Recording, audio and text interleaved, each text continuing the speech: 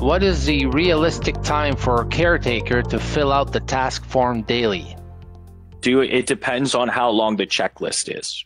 Uh, for fire extinguishers, I'll show an example of one of my preventative maintenance that I have. So I've got a fire extinguisher here, my checklist. We have that link on.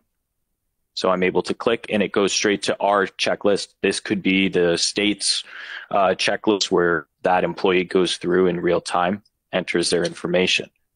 But depending on how long the checklist is, is how long it's going to take that person to actually go through.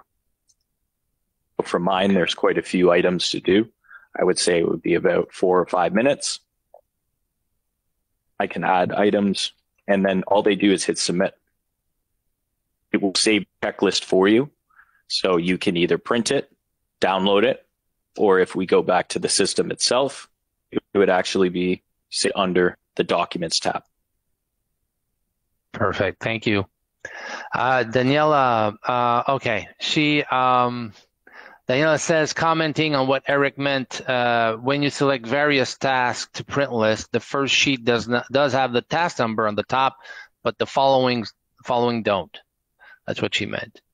Um, so we can Okay. probably take a look at that, Daniela, um, Yeah. quickly. That would be something yeah, with the support I would feel. Yeah, I think- that's running. I- I'm going to take a note of that and we're going to come back with some information about that because I'm not sure what needs to be done there. Um, Martin, My can you- suggestion.